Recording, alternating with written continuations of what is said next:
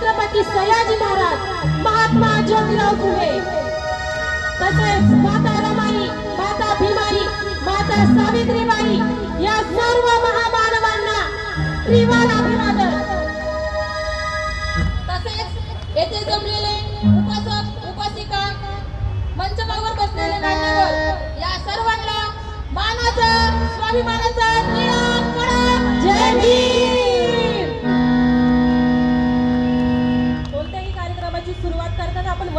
वंदन करतो. तर या ठिकाणी आम्ही प्रथम वंदन गीत सादर करणार आहोत.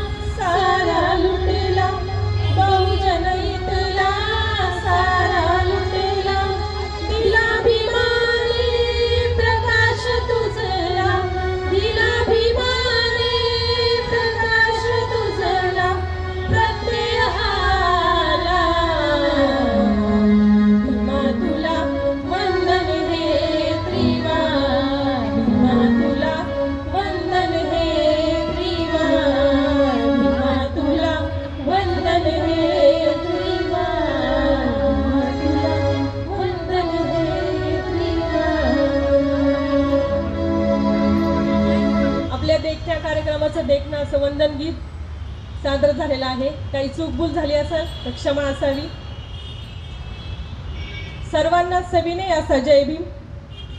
डॉक्टर बाबासाहेब आंबेडकरांचा. माता रमाईचा. आता आपण आपल्या कार्यक्रमाकडे वळूया ज्याची तुम्ही आम्ही अगदी आतुरतेने वाट पाहत आहात. असा आपला पोवाडा. आपल्या महाराष्ट्राला दिग्गज कलाकार होऊन गेले आहेत आणि त्यांनी आपल्या गायनातून मनोरंजन मनोरंजन केलेलं आहे. या गाण्याच्या प्रवासातून केवळ मनोरंजनच नव्हे तर समाज प्रबोधन सुद्धा झालं पाहिजे. ते खरे मनोरंजन. असे समाज प्रबोधन करण्याचं काम कवींनी गायकांनी कलाकारांनी त्यातच शाहिरांचा फार मोठा सिंहाचा वाटा आहे. आणि त्यांनी आपल्या शाहिरीतून समाज प्रबोधन केलेलं आहे. आणि अजूनही करतही आहे. अशा शाहिरांची एक शाहिरी आम्ही आपल्यासमोर सादर करणार आहोत. ही शाहिरी शाहीर किशोर सासवडे यांनी गायलेली आहे. टी सिरीज भक्ती मराठी या चॅनेलवरून ती प्रस्तुत केलेली आहे. त्यात आम्ही थोडेसे बदल करून तुमच्यासमोर सादर करणार आहोत. काही चूकभूल झाली असावी तर त्यातही तुम्ही आम्हाला क्षमा करताल अशी मी अपेक्षा करते. तर तुमच्यासमोर पोवाडा सादर करते आहे.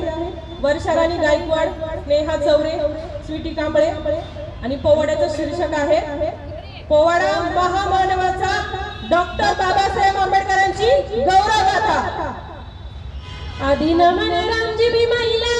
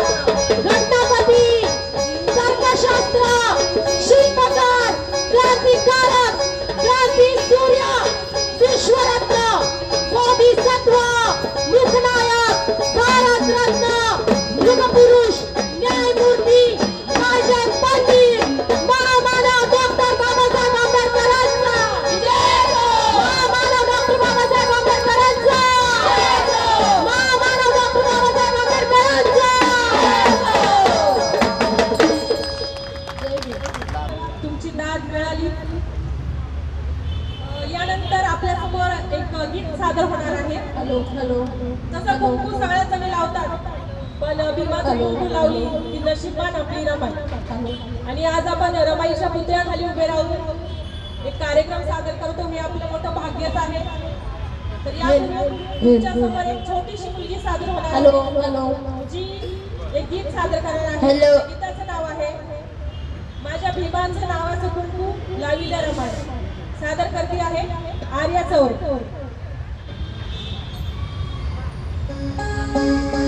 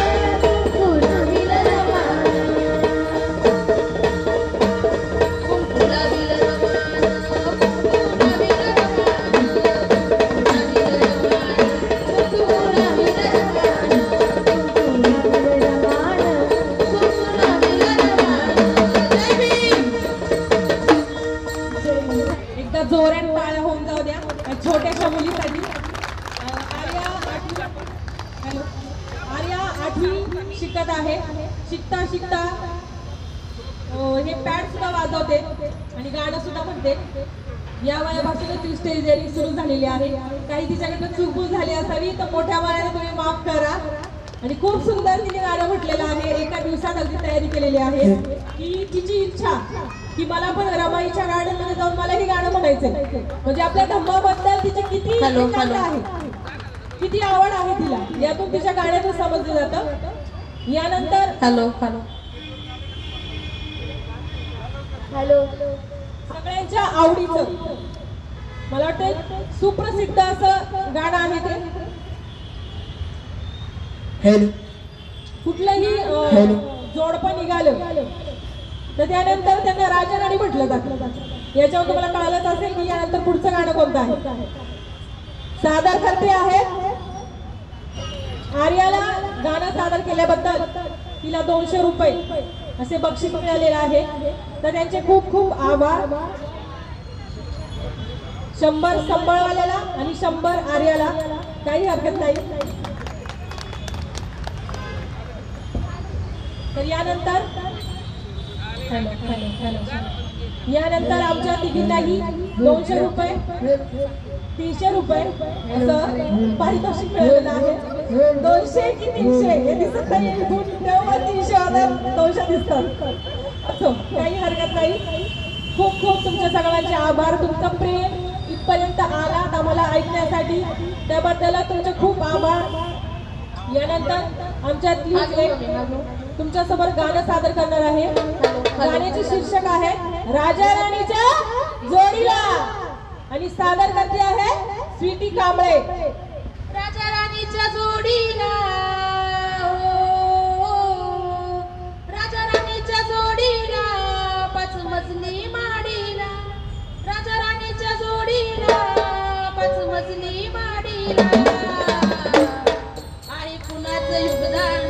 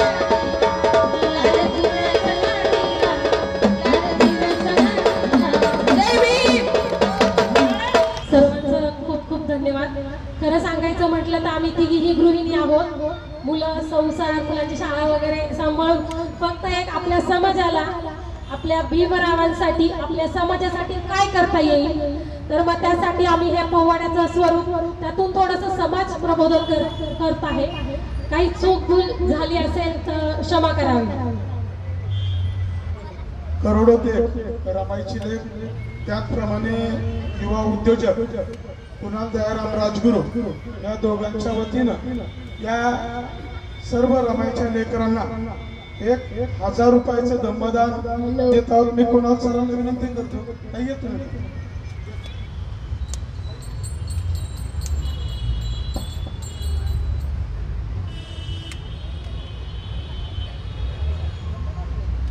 सगळ्यांनी टाळ्यांच्या गजरामध्ये या रमाईच्या लेकरांचं स्वागत करायचं आहे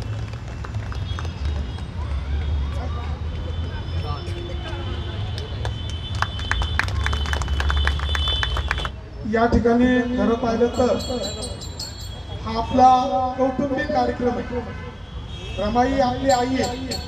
आणि आपण सर्वजण तिची लेकरं आहोत. आणि या रमाईच्या लेकरांनी हा अत्यंत चांगला देखणा पोवाडा म्हणा गीत गायनाचा कार्यक्रम केलं.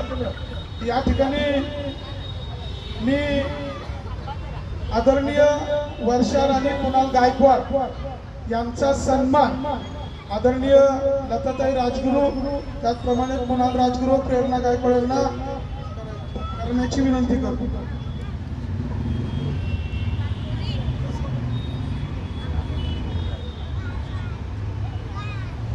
सगळ्यांनी टाळ्यांच्या गजरात त्यांचं स्वागत करायचं.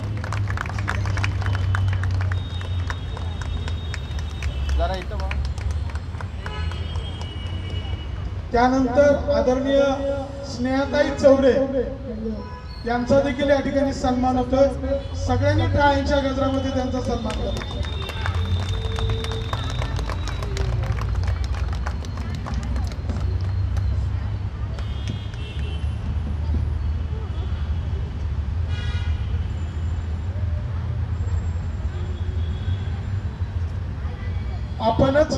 माणसाचं कौतुक करणं ते आपल्या माणसाला त्याच्यासारखा दुसरा आनंद. त्यानंतर आदरणीय स्वीटीताई कांबळे यांचा देखील या ठिकाणी सन्मान होतोय. सगळ्यांनी जोरात टाळ्यांच्या नजरात त्यांचं स्वागत त्यानंतर हे जे बाल कलाकार सहकलाकार आहेत त्यांचं देखील मला नाव माहीत नाही. काही नाव आर्या. आर्याताई चौरे आर्या चौरे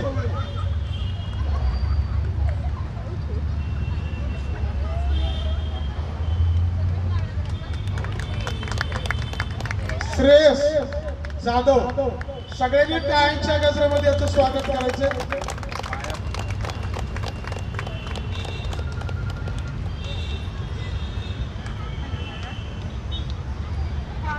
त्यानंतर स्वीकार कांबळे. यांचं देखील या ठिकाणी स्वागत होत.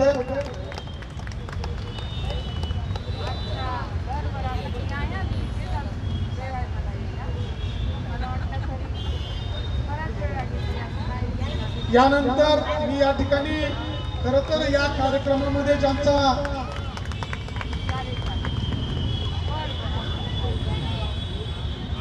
त्या आमच्या मार्गदर्शिका आणि आज ज्यांचा कार्यक्रम आहे होय मी रमाई बोलते. त्या आदरणीय अलकाताई गायकवाड यांचा देखील या ठिकाणी सन्मान होतोय. सगळ्यांनी प्रचंड टाळ्यांच्या गजरामध्ये त्यांचं स्वागत करायचं.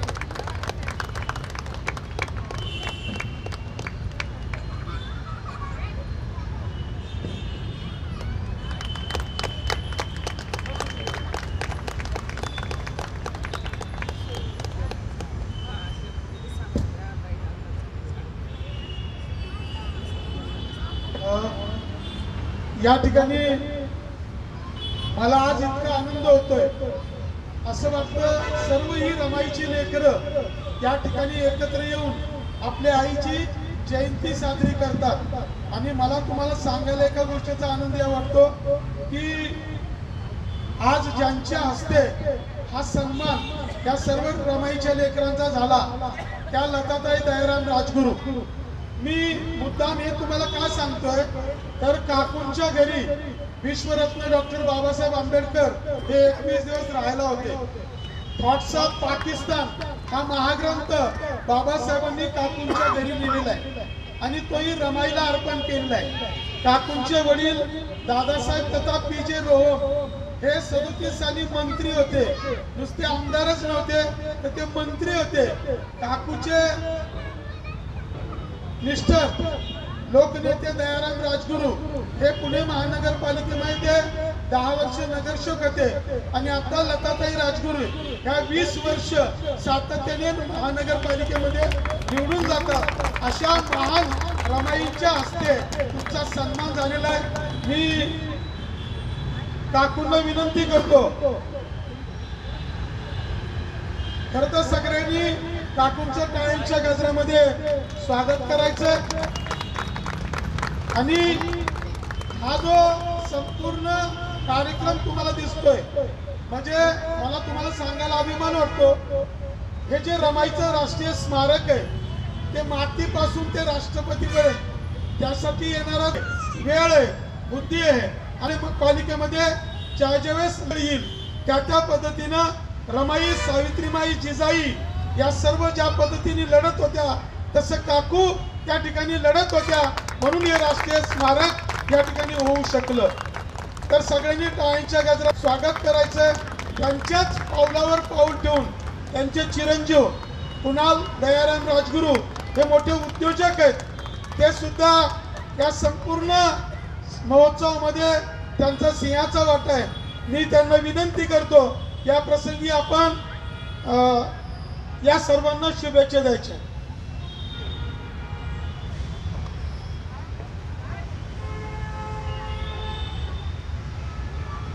सर्व महापुरुषांना महामातांना इथं अभिवादन करू आज रमाई महोत्सव या निमित्ताने आज हा जो पवाडा झालेला आहे. खरं तर आधी मी पूर्ण पवाडा कुणाल गायकवाड भाऊ असतील स्नेहाताई असतील त्यानंतर प्रीतीताई असतील वैष्णवीताई असतील याचा पहिला सगळ्यांनी तायांच्या गजरात स्वागत केलं पाहिजे. आजच्या काळात ज्यावेळेस असे पव पवाडे ऐकायला भेटतात तर खरं आज आमच्यासारख्या तरुणांना एक प्रेरणा देण्यासारखी गोष्ट आहे. खरं तर आज या महोत्सवाचा हा पहिला दिवस आहे. या महोत्सवाच्या पहिल्या दिवसामध्येच या महोत्सवाची किती उंची गेलेली आहे. सलग आठ वर्ष आठ वर्ष कंटिन्यूस हा महोत्सव साजरा करण्याचं स्मारक समितीचं खरं तर इथं पहिलं मी कौतुक करतो. सगळ्यांनी टाळ्यांच्या घरात विठ्ठल सरांचं तसंच करोडदेख रमाईंची लेख आमच्या लताताई असतील तसेच आमच्या सगळ्या प्रत्येक बंधूंचं भगिनींचं ह्याच्यामध्ये सगळ्यांचा स्नेहाचा वाटा आहे. खरं तर सांगायला गेलं हे इतकं उभं करणं इतकं इझी नव्हतं. याला खूप फाईट करावं लागलं. आणि जसं म्हणतात ना क्रांती केल्याशिवाय शांती भेटत नाही. आज कुठंतरी जाऊन इथं शांती भेटत राहिली आणि ह्या शांतीच्या माहोलामध्ये ज्यावेळेस असे असे कार्यक्रम घडतात त्यावेळेस इतका आनंदाचा माहोल या रमाईच्या पवित्र स्थानावरती ज्यावेळेस असे कार्यक्रम होतात आपली छाती खरं खूप चांगली भरून येते ज्यावेळेस असे उपक्रम इथं राबवले जातात. सांगायला गेलं तर आज आठ वर्ष झालेले आहेत. या आठ वर्षामध्ये आता हा नववा वर्ष आहे. या सलग नऊ वर्षामध्ये दरवेळेस जर आपण बघायला गेलं तर या कार्यक्रमामध्ये वेगवेगळे प्रकारचे प्रयोग केलेले गेलेले आहेत. ज्याच्यामधनं तुम्हाला फक्त एकच सांगणं होतं का येणारा व्यक्ती इथं जर येतो तर कोणाकडनं काय पैसे वगैरे काही नाही पण तुम्ही काहीतरी नक्की घेऊन जाणार असा हा महोत्सव आहे. या महोत्सवाची उंची आपण सर्वांनी एक ध्यास घेतला पाहिजे. काय घेतला पाहिजे? का या महोत्सवाला आपण पुण्यापर्यंत नाही महाराष्ट्रात नाही तर अख्ख्या भारतापर्यंत हा महोत्सव कसा आहे हा सगळ्यांनी खरं तर दाखवलं पाहिजे. बाबासाहेब ज्या वेळेस होते त्यांच्या वेळेस पण फार कमी लोक होते. पण जे पण कमी लोक होते ते हिरे होते. आणि म्हणून बाबासाहेब घडू शकले. आणि त्याच्यामध्ये सर्वात मोठा स्नेहाचा वाटा जर होता त्यांनी आपली जगाची आई रमाई. या रमाईंचं फार मोठं योगदान होतं. या रमाईंचं योगदानासाठी त्यांनी काय काय कष्ट केलेले? ह्या प्रत्येक तरुणाला कळलं पाहिजे. ज्या वेळेस प्रत्येक तरुण आपला इतिहास ज्यावेळेस बघल कारण की बाबासाहेबांनी जसं सांगितलं आहे जो समाज इतिहास विसरतो तो इतिहास कधीच घडू शकत नाही तर आपला इतिहास रमाई आहे. आपला इतिहास डॉक्टर बाबासाहेब आंबेडकर आहे आपला इतिहास छत्रपती शिवाजी महाराज आहेत अण्णाभाऊ साठे आहे हे थोर महापुरुष सर्वच. महापुरुष महामाता हे सर्वजण आपले महापुरुष माता हा आपला इतिहास आहे. आणि म्हणूनच येणाऱ्या पिढीला एवढंच सांगणं आहे का सध्या देश धोक्यात आहे. सध्या संविधान हे धोक्यात आहे.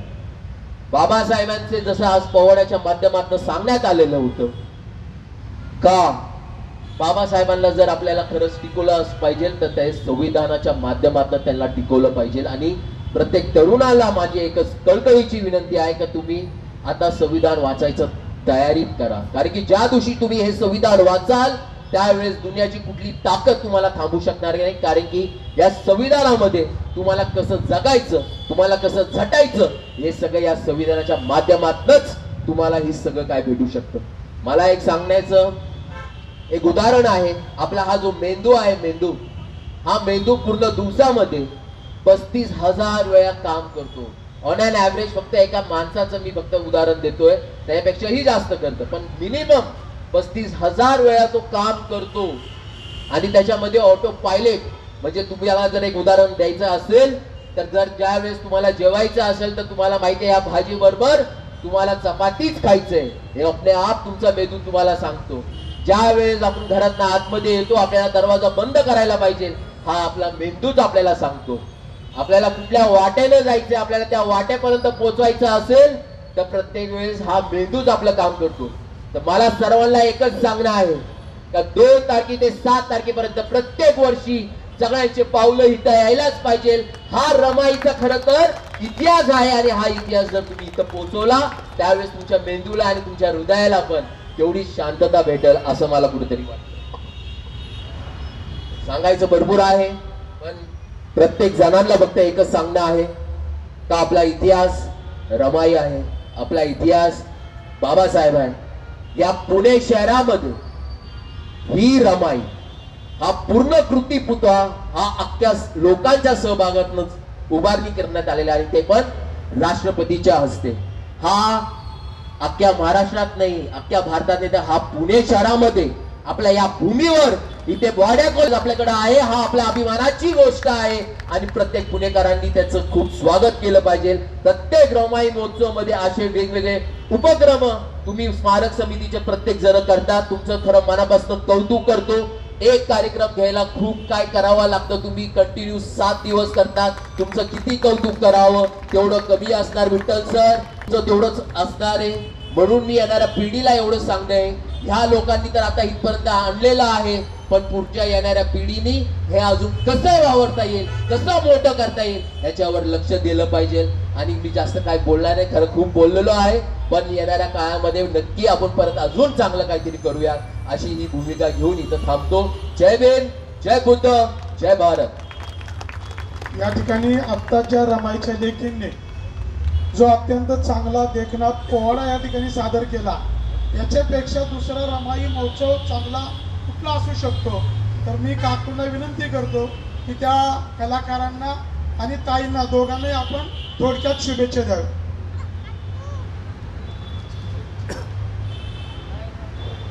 भगवान गौतम बुद्ध परमपूज्य नेते डॉक्टर बाबासाहेब आंबेडकर माता रमाई माता भीमाई सर्व महापुरुषांना अभिवादन करू आज महामाता रमाई भीमराव आंबेडकर राष्ट्रीय स्मारकच्या वतीने जो हा रमाई महोत्सव साजरा करण्यात येत आहे त्या कार्यक्रमाला ज्यांनी आताच पोवाडा सादर केला त्या सर्व आमच्या रमाईंच्या लेकरांचा मी अभिनंदन करते.